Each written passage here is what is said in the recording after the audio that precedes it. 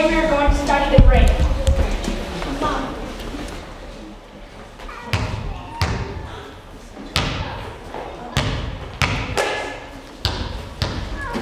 This is Alex. During our experiment, we're going to see what's happening inside Alex's brain.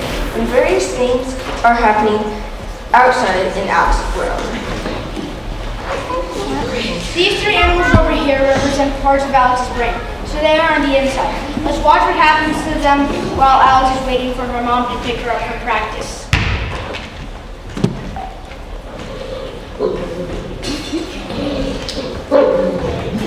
Hey, you! What are you doing? Waiting for your mom. Freeze!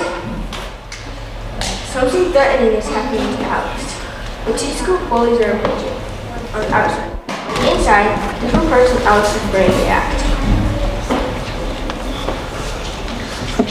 Our animal friends here represent that are inside Alex's brain. Mig is a guard dog. His number one job is to keep Alex safe. He's always on alert in case he senses anything dangerous, like a bully. Mig is short for amygdala. Let's say it together. Ah! Big!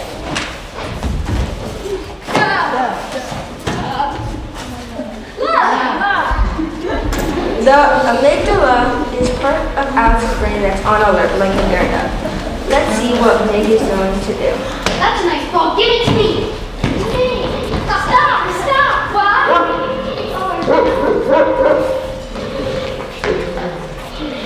Freeze! As you can see, something scary is happening and Mig is loud and agitated now Alex's brain. But there are two other parts of his brain. Let's see what they can do. Let's meet Quartz.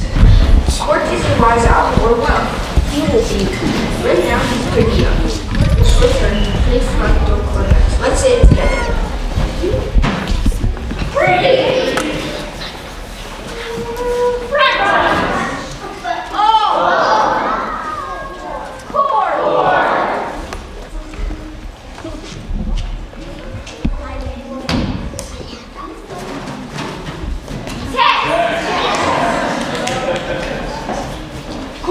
represents Alex's prefrontal cortex, the area that's right here.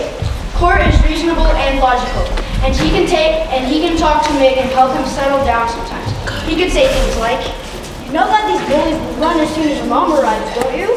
True, but since Alex is only 10, Court isn't up at all, and he can't always convince Mig to calm down, which can get tricky. Alex's prefrontal cortex doesn't grow up until Alex and all of you are about 25 years old. So Mig, who's already fully developed when kids are born, often just take over. The last part of the brain we'll learn about today can also help Mig settle down. It's Mr. Elefante. He is also in Alex's brain and represents Alex's hippocampus. What? He's not a hippo. Let's say it together.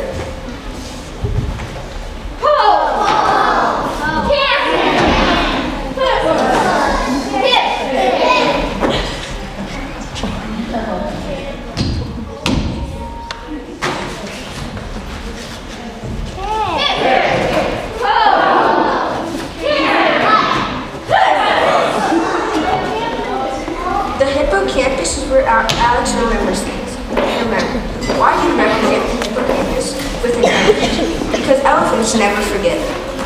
Mr. Elefante can help Alex remember that some situations that are said make are really okay and not really dangerous at all. For example, Remember when the bullies screamed when they saw a itsy bitsy spider? Basically, Elefante and Quark can help Alex make some great choices. Yet, as mentioned, Mig can totally sound a little too strong for them.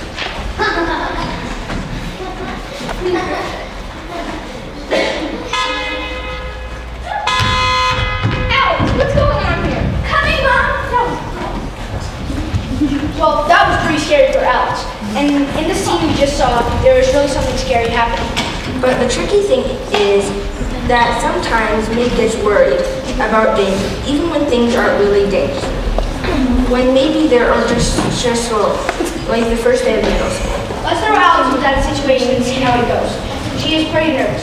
What do you think will happen with Mig, Quartz, and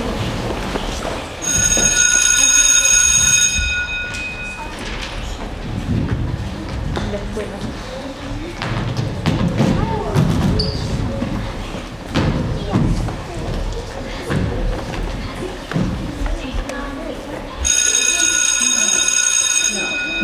to middle school students. I'm your teacher, Ms. Wickman. I hope you have memorized your schedule and your locker room. I have everything. I'm ready. In middle school, you have a lot to keep track of who's your parents and schedules. Me, me, I'm so excited for special. Today's the silver day. I'm banned on days. I'm banned too. I'm playing the trumpet. Go on, Lawrence. How about you? Do you have your planner? How's your locker? Um, I'm in my locker. So you should open. I already decorated my locker. I have been. Are you okay? I am freaking out! Freeze! Wow, what happened here? That was not that scary. But remember, can't you open one eye? Nor can we see through your eyes. So let's actually give that a shot. Rewind.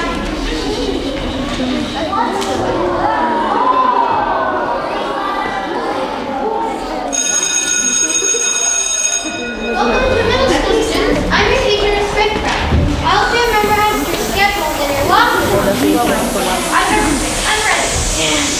How about you? You have your planner. How's your locker? In middle school, you have a lot to keep track of. Who's their planners and schedules?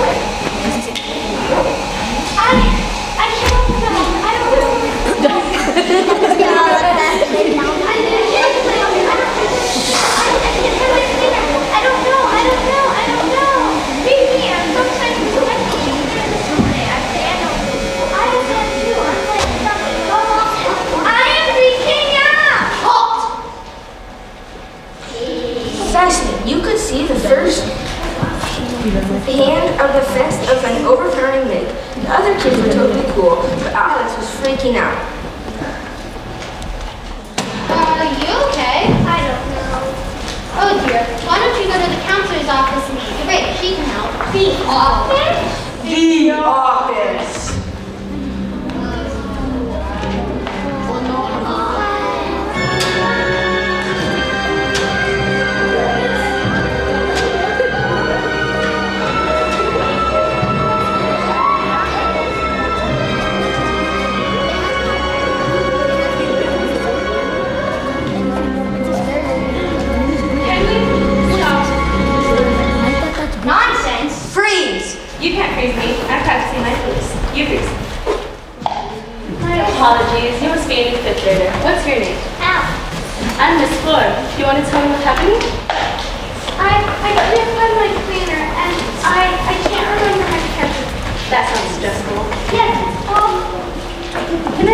Sit here. Let's, I'll try something. Let's take some deep breaths. Breathe slowly into your hands.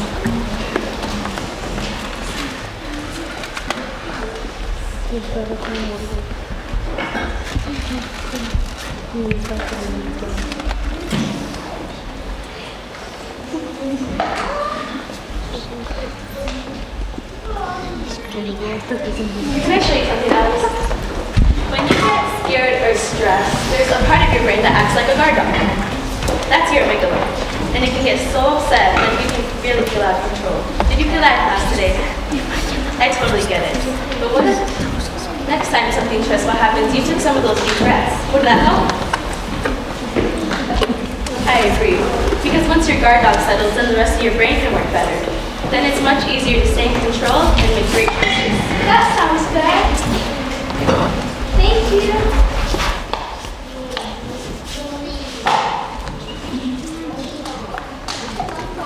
Thank you.